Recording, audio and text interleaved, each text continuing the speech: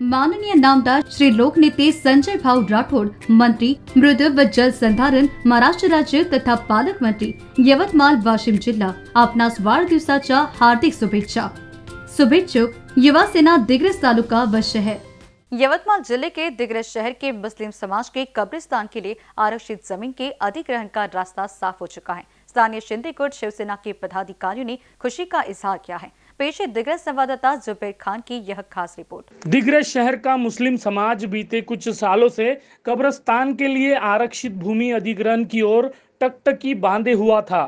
ऐसे में उसकी प्रतीक्षा अब कहीं जाकर खत्म हुई है। हाल ही में राज्य सरकार द्वारा जारी किए गए जीआर के तहत कब्रस्तान आरक्षित भूमि अधिग्रहण को मंजूरी मिल चुकी है।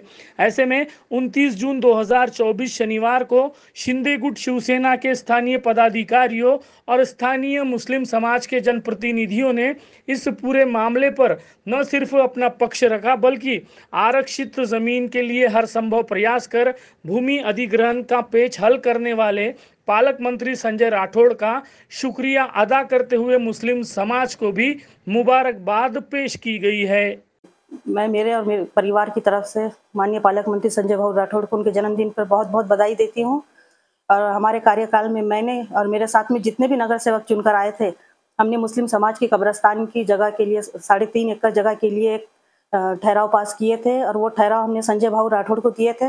संजय भाऊ राठौड़ ने पाँच साल से लगातार इसके लिए कोशिश कर रहे थे और आज वो जीआर, उसका जीआर आ गया है।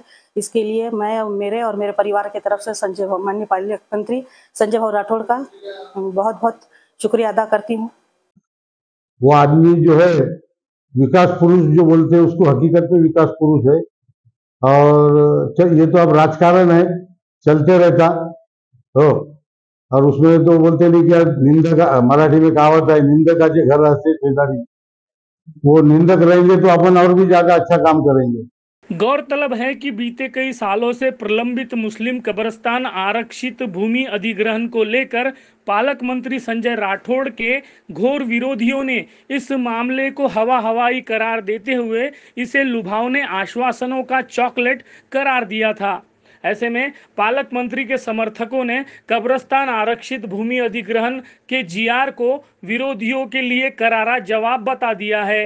संजय बाबू ने हमको जो है तो कब्रस्तान का तो मुस्लिम समाज को आज साढ़े तीन एकड़ जगह लेके दिए, राजपत्र में भी आज उसका नाम आ गया उसके बाद संजू बाबू ने हमको दिग्रज शहर के अंदर कम से कम बोलते नहीं बड़े शादी खाने बना के दिए, मुस्लिम समाज के वास्ते भी दिए, उसके बाद बेचालीस लाख रुपए की कब्रस्तान के वास्ते भिन्न बना के दिए। उसकी वजह से मैं संजय बाबू राठौड़ का शुक्रिया अदा करता हूँ और ये मेरी अपेक्षा उनसे कहा और उसका जैसा जगहों के वास्ते और जाति जगह मंगी थी हमने उसका ठहराव होने वाला है।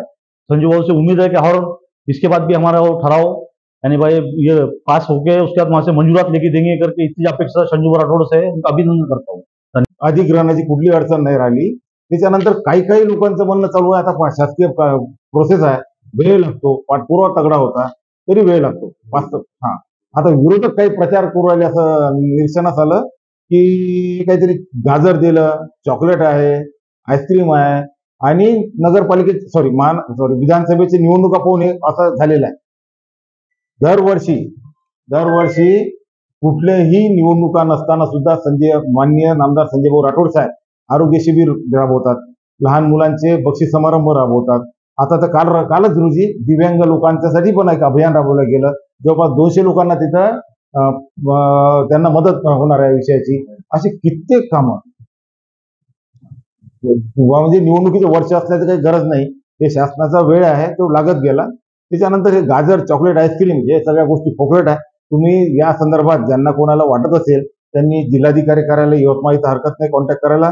किंवा नगरपालिकेत मुख्याधिकारी और प्रशासकीय यंत्रणा? कुल मिलाकर देखा जाए तो संजय राठौड़ समर्थक, स्थानीय पदाधिकारी और मुस्लिम समाज के प्रतिनिधियों ने कब्रस्तान आरक्षित भूमि अधिग्रहण के सरकारी आदेश पर खुशी का इजहार कर दिया है। राठौड़ समर्थकों का उत्साह बता रहा है कि कल तक आरक्षित भूमि अधिग्रहण के मुद्दे पर बेतुके तर्क और आरोप की बुनियाद पर सवाल खड़े करने वाले विरोधियों के अफवाह तंत्र के ताबूत में पालक मंत्री संजय राठौड़ ने आखिरी किल ठोक दी है। इन बी न्यूज़ के लिए दिग्रस से जुबैर खान की रिपोर्ट।